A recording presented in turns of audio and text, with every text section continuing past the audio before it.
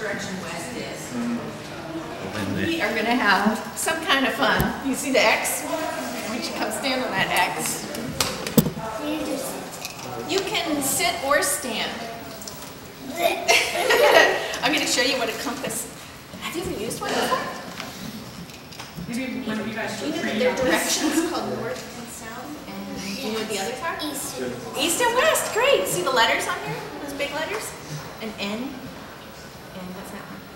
Um, double. W, W. S and Excellent. So you know that they stand for the directions then, right? Okay. So that's north right there. See that red tip? yeah. It's pointing north. And what this is going to help us do. Okay. So east is this way, right? One, Littler steps.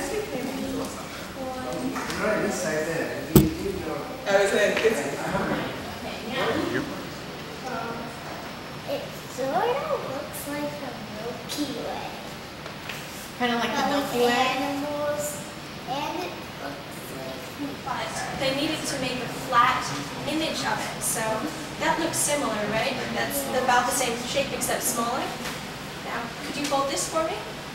If you wrap this shape around the ball,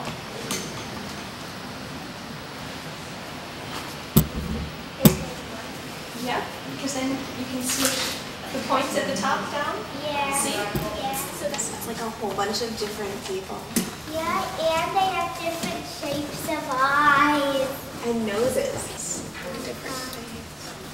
Um, where's the Talks about something called a compass rose. Have You ever heard of that?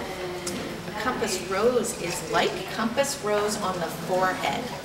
Very good. And then there's one right there. I wonder how many we could find on all of the masks. Do you think we should look? There's one right there. the, the coolest thing ever.